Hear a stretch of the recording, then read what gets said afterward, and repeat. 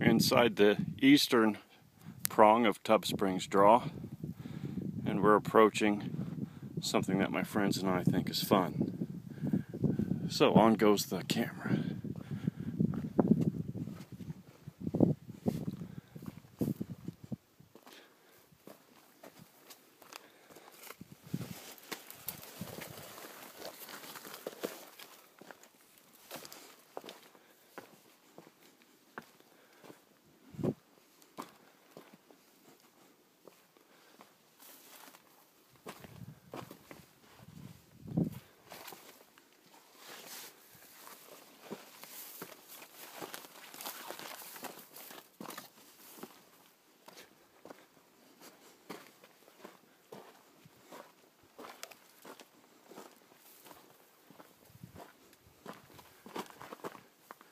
And here it is, just ahead.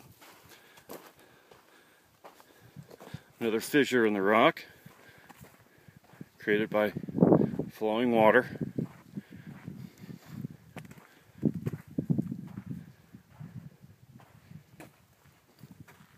This one's not very deep and not really very long. We still think it's cool.